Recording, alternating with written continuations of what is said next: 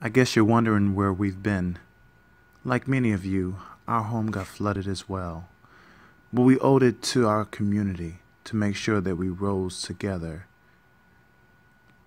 We didn't get flooded alone, so we're not going to rebuild alone. We were working with our community to bring supplies from all over the country to help our citizens.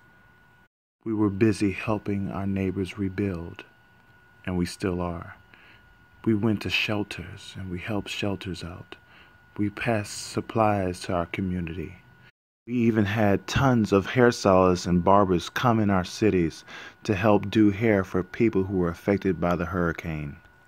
And if you're watching this right now, I just want to encourage you that you're not alone, that God sits on high and He sees our needs. Our family was affected as well, but we are all going to rise together. Get ready because today is your miracle.